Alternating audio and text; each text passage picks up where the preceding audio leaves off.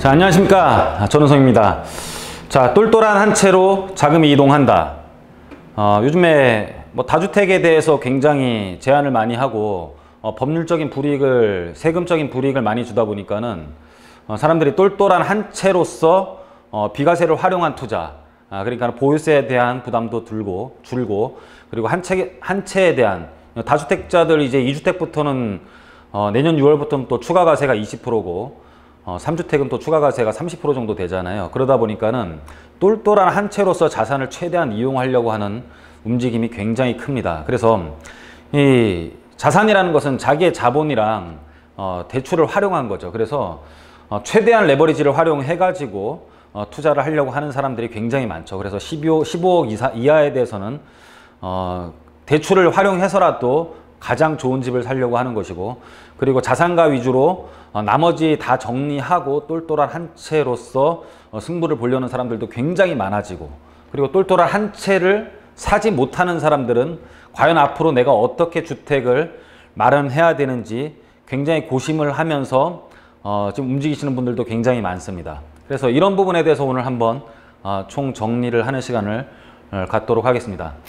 자, 이런 이런 일들이 왜 일어나느냐? 이 부동산 활동은 어, 우리가 어떻게 보면 경제 활동일 수도 있지만은 우선적으로 어떤 법이 나왔냐에 따라 어, 그 법에 따라 움직이는 어, 법률 활동이라고 보시면 될 것 같습니다. 그래서 이렇게 자금이 이동하는 이유는 법이 다주택자에 대해서 어, 숨통을 조여 오니까 당연히 한 채로서 승부를 보려고 하는 어, 이런 경제 활동이 법률이 법률이 우선되고 그 다음에 이런 결, 경제 활동이 일어난다라고 보시면 될 것 같습니다.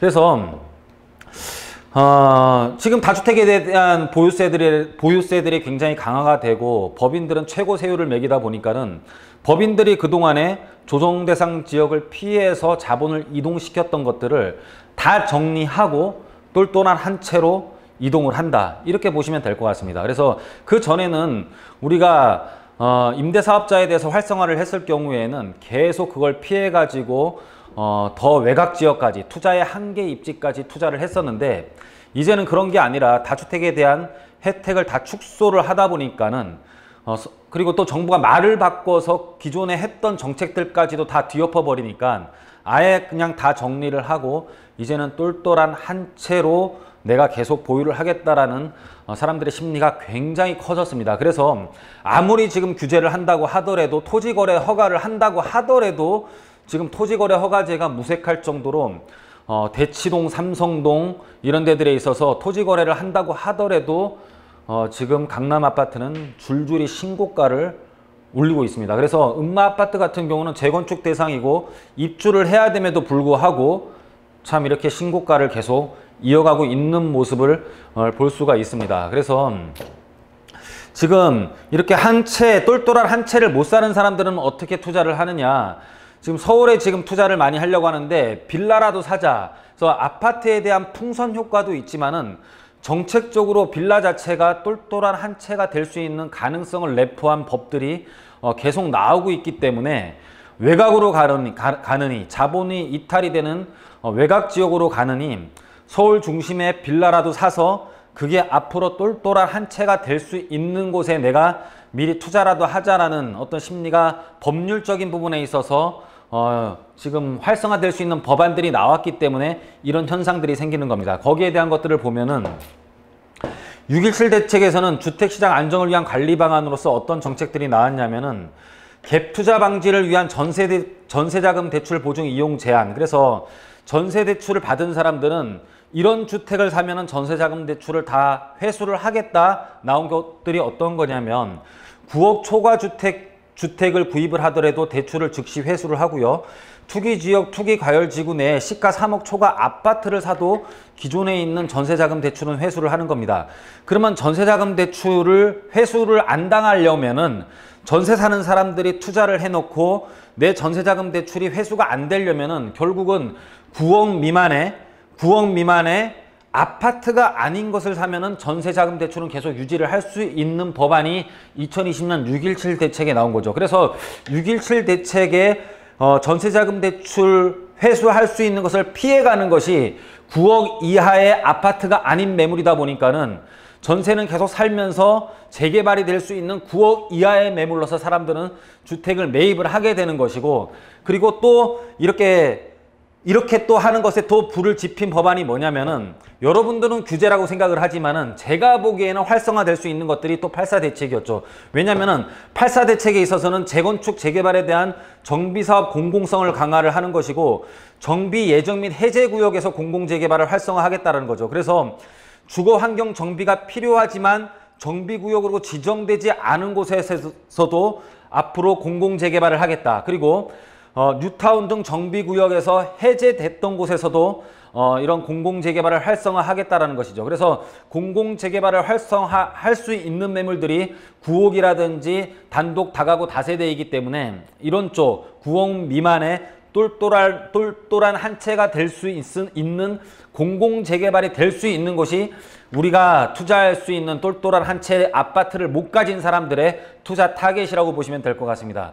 그래서 어떠한 법률이 나오더라도 우리는 활성화시키고 그리고 그 법에 대해서 규제가 피해가는 금액대로 우리가 투자를 하시면은 향후에 투자에 대해서 성공을 할 수가 있는 것입니다. 그리고 이런 빌라 다세대가 지금 뜨는 이유 중에 하나는 어, 취득세랑 보유세가 한 몫을 또 하고 있습니다. 높은 금액을 취득을 할수록 다주택자들은 취득세에 대한 부담이 굉장히 많이 생기는데 이런 다, 다세대 주택의 특성은 뭐냐면은 현재는 소액으로 매입을 한 다음에 나중에 추가 부담금을 많이 내는 구조죠. 재건축 같은 경우는 현재 사는 금액도 굉장히 비싸기 때문에 어, 다주택자가 취득세를 부담하기 위해서는 굉장히 부담스러운 건데 다세대 같은 경우는 다주택자라도 현재 금액은 작기 때문에 현재의 금액은 작기 때문에 취득세 세율이 높더라도 어느 정도 감당할 수 있는 부분이라고 보시면 될 것 같고요. 그래서 그리고 또 보유세에 있는 부분도 어, 단독이나 다가구 다세대 같은 경우는 거래되는 시세, 시세의 한 3분의 1 정도밖에 주택 공시가격이 잡히지가 않습니다. 그래서 어, 보유세에 대한 부분도 굉장히 줄일 수가 있는 거죠.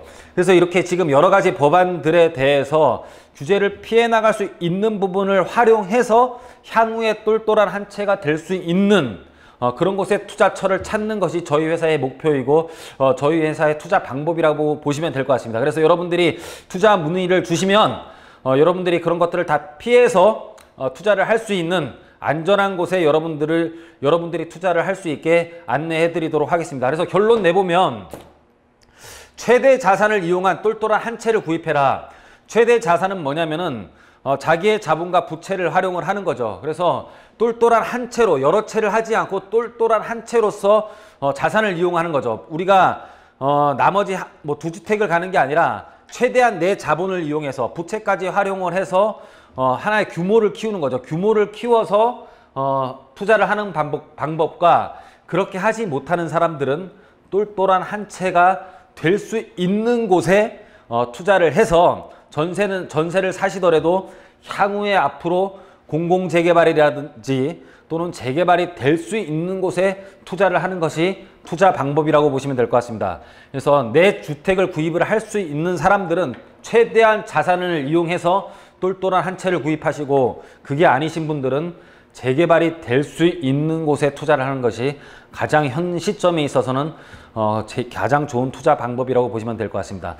여러분들 지금 투자 방법에 대해서 현재 지금 돈의 흐름과 이렇게 투자해야 된다는 것을 오늘 간단히 어, 설명드렸는데 어, 여러분들 이렇게 규제 정책이 나오다, 나온다고 하더라도 어, 거기에 대해서 너무 의기소침하지 마시고 항상 투자를 하는 방법은 있기 때문에 어, 어, 항상 이렇게 저희랑 상담해 주시고 어, 고, 구독 좋아요 눌러 주시면서 저희 유튜브 계속 채널 유튜브 채널 어, 계속 시청해 주시면은 분명히 여러분들한테 맞는 어, 투자처를 여러분들이 찾으실 거라고 저는 확신하고 있습니다. 항상 좋아요 구독 눌러 주시고요. 오늘 강의는 여기서 마치도록 하겠습니다. 감사합니다.